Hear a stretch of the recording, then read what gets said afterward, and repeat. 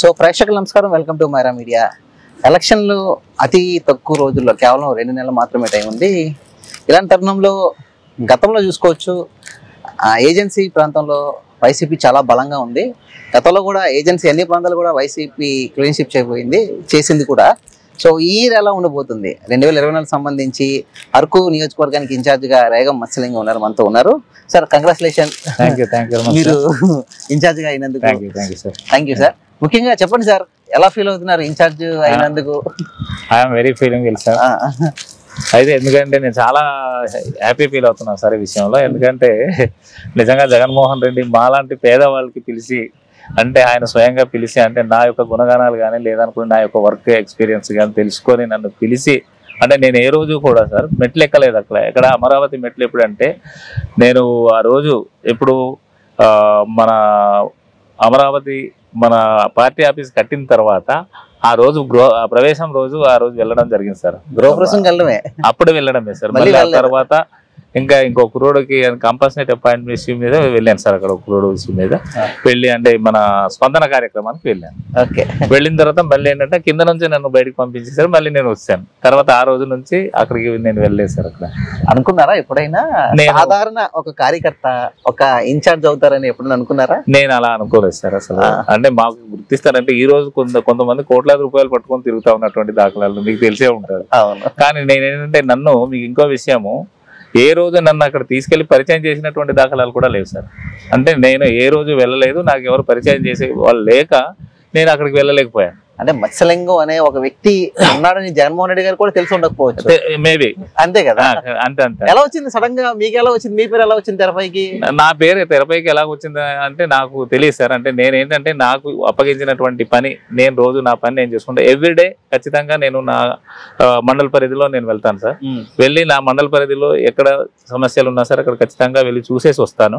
అలాగేనంటే మిగతా మండలాలు కూడా నా దృష్టి సారిస్తాను. అంటే ఏదైనా ఏదో రోజు భగవంతుడు నాకు భిక్ష పెట్టకపోతాడు అనుకున్నాను కానీ జగన్మోహన్ రెడ్డి రూపంలో నాకు ఆయన దేవుడే మరి ఈ రోజు అయితే ఖచ్చితంగా నాకు కానీ నా కుటుంబానికి కానీ. సార్ ముఖ్యంగా ఏజెన్సీ ప్రాంతం వైసీపీకి మంచి పట్టు ఉంది సార్. అవును సార్.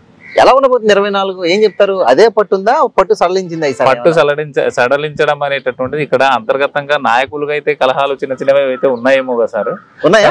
ఉన్నాయి ఉన్నాయి. కలహాలు అయితే ఉన్నాయి చిన్న చిన్నవి ఉన్నాయి.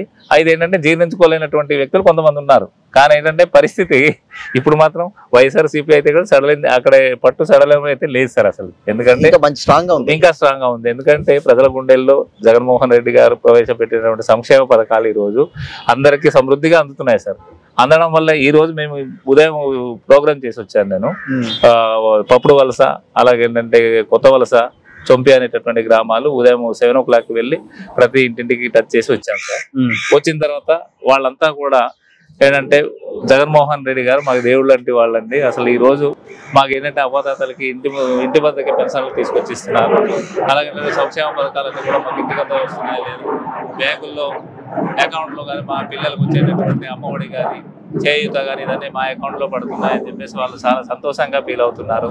అంటే రాజశేఖర్ రెడ్డి ఈ కొండ ప్రాంతంలో ఎవరైతే నివసిస్తారో ట్రైబ్స్ అందరికీ. కూడా ఆరాధ్య దైవంగా అవును ఆ, నేను చాలా సార్లు చూశాను సార్. ఏజెన్సీకి వచ్చినప్పుడు ఆయన ఫోటో పెట్టుకోవడం కానీ ఇవన్నీ కానీ అంతే అభిమానం ఎందుకు జగన్మోహన్ రెడ్డి గారి మీద ఉందంటే ఏం చెప్తారు? సార్ ఏజెన్సీ ప్రాంతాల్లో ఆ రోజు మేము చిన్నతనంలో పూరి గుడిసెల్లో జీవించేవాళ్ళు సార్. అసలు మాకు రేకిళ్ళు అంటే సిమెంట్ గోడలు అంటే మాకు తెలియదు. అంతా మట్టి గోడలతోనే ఉండేవాళ్ళు. ఆ ఇంట్లో ఒక చిన్న రెండు గదులు ఉండేవి. ఒక గది మేమంటే ఆ గొందింటి అని ఒకటి అంటాము. బయట ఒక గది ఉండేది. అవతల ఏంటంటే గొందింట్లోనే అక్కడ ఏంటంటే వీళ్ళు దేవుడు కానీ ఏదైనా సరే ఉంచుకునేవారు.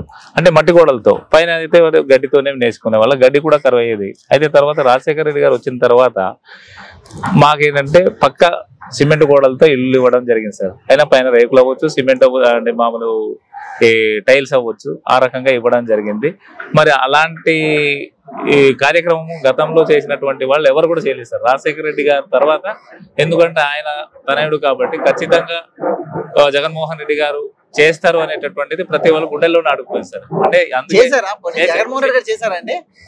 అయితే ఈ రోజు అంటే చేస్తున్నారు సార్ ఇప్పుడు. చేస్తున్నారు. చేస్తున్నారు ఇప్పుడు. ప్రస్తుతానికి అయితే చేస్తున్నారు ప్రాబ్లం ఏం లేదు. సో ఇప్పుడు ఏంటంటే డబ్బులు కూడా పెంచారు కాబట్టి ఇంకా ఈజీగా వీళ్ళు చేసుకోవడానికి ఆస్కారాలు ఉన్నాయి.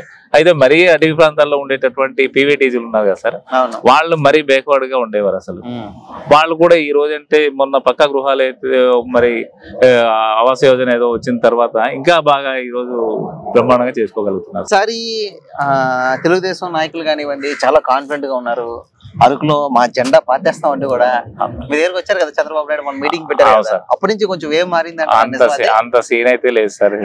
జనాల్లో ఏదో వచ్చేసి ఏదో ఏవో ఎప్పుడు మీకు తెలియదు ఏమున్నది. ఏదో చెప్తారు. చేసింది గతంలో వారు ఆచరించినటువంటి అంటే అనుకున్న మాటకి వారు నిలబెట్టుకున్నటువంటి దాఖలాలు లేవు. లేవి కూడా. నమ్మరా సార్? చంద్రబాబు నమ్మరా చంద్రబాబు చంద్రబాబు నమ్మే పరి- పరిస్థితిలో లేరు సార్. ఎందుకంటే ఈ రోజు జగన్మోహన్ రెడ్డి ఇచ్చేటటువంటి సంక్షేమ పథకాలు ఇంటి వద్దకే వస్తున్నాయి. అంటే అప్పుడు చంద్రబాబు నాయుడు ఇచ్చేది ఐదు ఆరు పథకాలు ఇచ్చేవాడు. కానీ ఈ రోజు వందలాది పథకాలు ఇంటికే చేరుతున్నాయి. మరి అలాంటప్పుడు చంద్రబాబు ఎవరన్నారు సార్ ఈ రోజు వంద రోజుల్లో నూట యాభై రోజులు పని చేసుకుంటున్నారు అందరు కూడా. ఈ రోజు వెళ్తే మా గ్రామాల్లో కొంతమంది దొరకట్లేదు ఉపాధి ఉపాధి హామీ ఉపాధి హామీ పని కింద వెళ్ళిపోతున్నారు జనాలంతా కూడా. మేము వాళ్ళ కోసం వెతుక్కొని అక్కడికి వెళ్ళాల్సిన పరిస్థితి అంటే. ఉన్న ఎమ్మెల్యేని కాదని మీకు ఇచ్చారు మీకు ఇవ్వడం అనేది. ఈ ఎమ్మెల్యే సపోర్ట్ కానివ్వండి ఆ వర్గం సపోర్ట్ కానివ్వండి ఆ ఎవరైతే ఆ ప్రజలు ఉంటారో వాళ్ళందరూ మీకు సపోర్ట్ చేస్తారా పోనీ? అందులో సగం మంది నా దగ్గరే ఉన్నారు సార్. అంటే కొంతమందిని వాళ్ళు అడ్డుకోవచ్చు. కాకపోతే అడ్డుకున్నప్పుడు కూడా వాళ్ళు ఇంటర్నల్గా నాకు పోలు చేసి సార్ మీ వెనకాల మేము వస్తామని చెప్తూనే ఉన్నారు ఈరోజు. అంటే ఇవన్నీ క్వైట్ కామన్ రాజకీయాల్లో. కామన్ కానీ ఏంటంటే ఆయన అధికారంలో ఉండేరు గతంలో. ఉమ్. మరి ఆయన జీర్ణించుకోలేకపోతున్నారు. ఇప్పుడు అంటే ఒకసారి పదవి పోయింది లేదనుకుంటే నాకు అవకాశం రాలేదు అనేటప్పుడు కల్లా వాళ్ళు కూడా బాధ ఉంటుంది కదా. అవును. అదే. ఎలా ఉండబోతుంది సార్? ఈసారి ఇరవై నాలుగు సంబంధించి అరకు కాన్స్టిట్యున్సీ ఎలా ఉండబోతుంది అంటే ఏం చెప్తారు రెండు మేమైతే ఖచ్చితంగా బంపర్ మెజార్టీ గెలుస్తాను సార్. నాకు ఆ కాన్ఫిడెంట్ ఉన్నది. ఎందుకంటే నేను ఏ గ్రామాల్లోకి వెళ్ళినా సరే జనాలంతా కూడా బ్రహ్మరథం పట్టేటటువంటి దాఖలాలు ఉన్నాయి? ఖచ్చితంగా సార్? ఖచ్చితంగా. ఖచ్చితంగా గిఫ్ట్ ఇస్తాం సార్ మేము. మంత్రి రేస్లో ఒకవేళ గెలిస్తే ఎవరైతే ఈ ఎస్టీ సంబంధించి ట్రైబ్స్ దాంట్లో మంత్రి. పదవి కూడా ఇస్తే ఏం. చెప్తారు? దానికి ఏం చెప్తారు ఆశ అయితే మనిషికి ఉండొచ్చు కానీ అత్యాశ అయితే ఉండకూడదు సార్. జగన్మోహన్ రెడ్డి గారు ఆశిస్తే నేను ఏదైనా చేయడానికి సిద్ధంగానే ఉన్నాను. ఎలా ఉంది సార్ ఇప్పుడు జనాల దగ్గరికి వెళ్తున్నారు? ఎలా ఎలా రిసీవ్ చేసుకుంటారు? నాకు నాకు మంచి ఆదరణ ఉన్నది సార్. అవదాతలు కూడా అన్ని బాగా చూస్తున్నారు. మిగతా వాళ్ళంతా కూడా లేదు. జగన్ రెడ్డి ప్రభుత్వానికి మేము వేస్తాం తప్ప వేరే వాళ్ళకైతే వేయమనేటట్టు. ఇంత ప్రభుత్వాలు అంటే ప్రభుత్వం ఇచ్చే పథకాలు ఇన్ని తీసుకున్న తర్వాత కూడా. మరి మేము మళ్ళీ ఇంకోటి ఇస్తే కదా మేము జగన్ బాబుకి ద్రోహం చేసినట్టే కదా అంటున్నారు వాళ్ళు. ఆయన ఒక. మంచి క్యాండిడేట్ తీసుకొచ్చి పెట్టారు. కొంచెం ఎవరో లోకల్లో ఉన్న అబ్రహం అనే. టీడీపీ. మాజీ ఎమ్మెల్యే కొడుకు ఆంటీగా వేస్తారంట ఏంటి వాళ్ళలో కూడా గ్రూప్ ఉన్నట్టున్నాయి అక్కడ అదే వాళ్ళు సొంత కుటుంబ సభ్యులే వాళ్ళు చిన్నాన్న పెద్దనాన్న కొడుకులే. వాళ్ళు అంటే అన్నదమ్ముల కొడుకులు అనుకుంటా అయితే దొన్నదొర అనేటటువంటి వాడు ఈయనకి అన్న- పెద్దనాన్న ఉంటాడు ఎవరికి మన అబ్రహాంకి ఓకే సో ఏంటంటే ఆ రోజు రెండు వేల తొమ్మిది ఎలక్షన్స్లో యాక్చువల్లీ నాకు కాంగ్రెస్ టికెట్ నాకు రావాలి.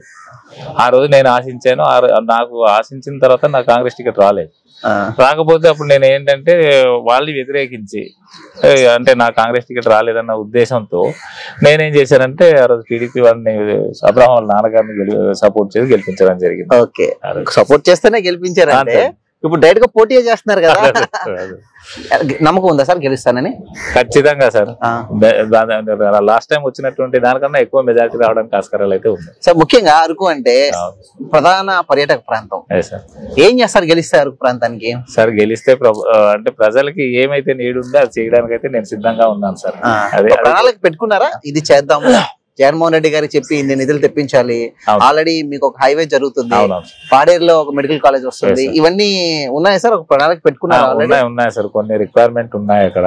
ఖచ్చితంగా చేయాలనేసి అనుకుంటున్నాను ప్రధానంగా ఏంటంటే ఈ టీచింగ్ ప్రొఫెషన్కి సంబంధించి బిఎడ్ కాలేజ్ ఒకటి ఆలోచనలో ఉన్నాను నేనైతే. అది ప్రధానంగా వాళ్ళకి అవసరం అక్కడ. చెప్తున్నారా? లోకల్లో సమస్య చెప్తున్నారు ప్రజలు అంటే ప్రజల్లో ఏంటంటే వాళ్ళకు ఉండేటటువంటిది ఏవైతే స- వాళ్ళకి రిక్వైర్మెంట్ ఏదో చెప్పాను కదా ఏం రిక్వైర్మెంట్ ఉందో దానికోసమే మాట్లాడుతున్నాం. మీకు ఏ సమస్య ఉన్నా సరే నేను జగన్మోహన్ రెడ్డి గారి దృష్టిలో ఖచ్చితంగా తీసుకెళ్ళి ఆయన ద్వారా పరిష్కరించడానికి నా ప్రయత్నాలు అయితే నేను చేస్తానని చెప్పేసి అంటున్నాను సార్. ఏం చెప్తారు? దీని ద్వారా జగన్మోహన్ రెడ్డి గారికి ఏం చెప్తారు? జగన్మోహన్ రెడ్డి గారి కంటే సార్ మరి ఇక్కడ ఉండేటటువంటి సమస్యలు తీసుకెళ్ళి ఆయన ముందు పెడతాం. పెట్టిన తర్వాత మరి ఆయన తీసుకునే నిర్ణయాలకు మేము కట్టుబడి ఉండాలి. అదే. Wish all the best sir thank you thank ఖచ్చితంగా మీరు ఏదైతే అనుకున్నారో అరకు నియోజకవర్గం గెలాలని మనస్ఫూర్తిగా నేనైతే మా. కోరుకుంటున్నా.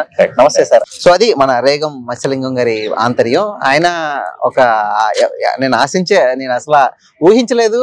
అసలు నేనంటూ ఒకళ్ళు ఉన్నానని జగన్మోహన్ రెడ్డి గారు గుర్తిస్తారని అనుకోలేదు. ఒకసారి ఒక నేనే ఒక బెస్ట్ ఎగ్జాంపుల్ ఒక సామాన్య కార్యకర్తనైన నన్ను ఈ రోజు ఒక నియోజకవర్గాన్ని ఇన్ఛార్జ్ చేసి చేశారంటేనే ఆలోచించవచ్చు. వైఎస్ఆర్సీపీ పార్టీ ఒక సామాన్యులకి ఏ విధమైన ఇంపార్టెన్స్ ఇస్తుంది? ఒక కార్యకర్తని ఏ విధంగా పైకి తీయవాలని ఆలోచన చేస్తుంది అనేది నేనే ఒక ఎగ్జాంపుల్ అంటూ కూడా మత్స్యలింగం గారు ఆనందాన్ని వ్యక్తం చేశారు. ఖచ్చితంగా అరకు ఇరవై నాలుగు సీటు గెలిచి జగన్మోహన్ రెడ్డి గారికి గిఫ్ట్ ఇస్తానంటూ కూడా ఈరోజు ఆయన ఘంటపదంగా అయితే చాలా కాన్ఫిడెంట్ అయితే కనిపిస్తున్నారు. ఏదైతే అనుకున్నారో అది కూడా అవుతుందని మనస్ఫూర్తిగా మనం మైరా మీడియా తరఫున అయితే కోరుకుందాం.